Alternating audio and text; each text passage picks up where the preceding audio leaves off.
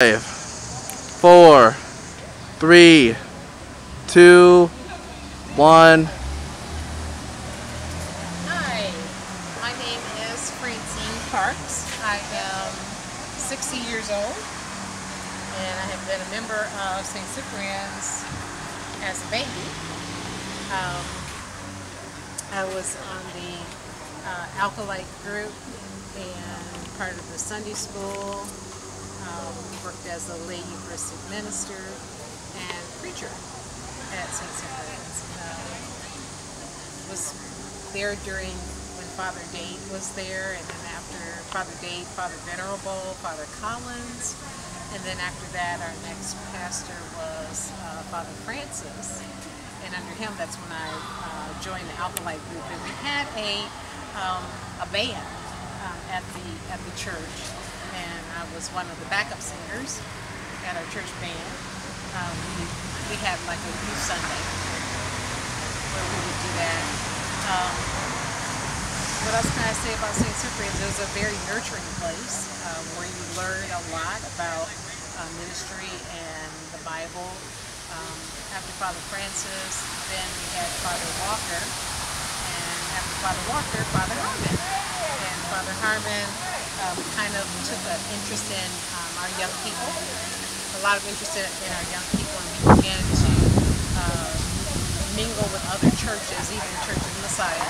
Uh, we would meet at um, St. Timothy and at um, St. Matthew, St. Joseph.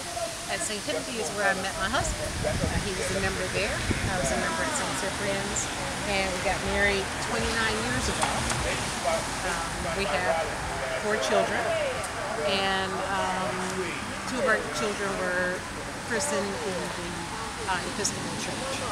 Um, latter years, um, I was working with uh, Father Lucas, he came after Father Harmon, and then um, did a lot with uh, the music ministry of the church, as well as um, as well as uh, some preaching on, on, given Sundays. So it's been a really um, exciting time to be a uh, part of St. Cyprian's.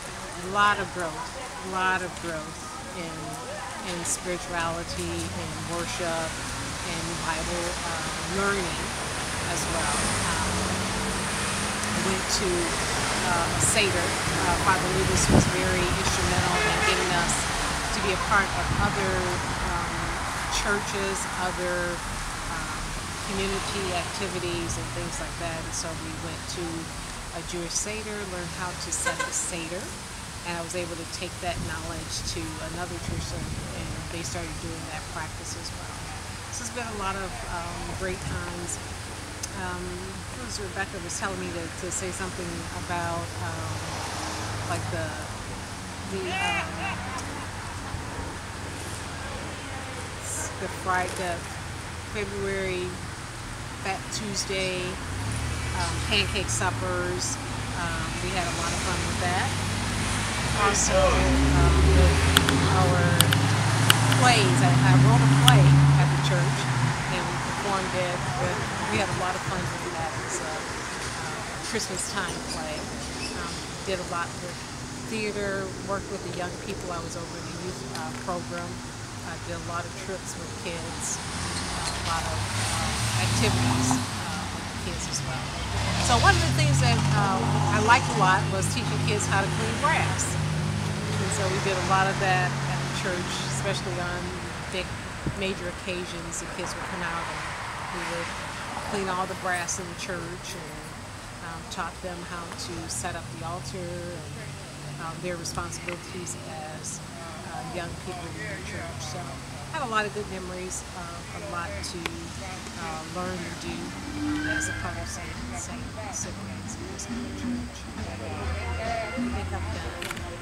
I have one more minute.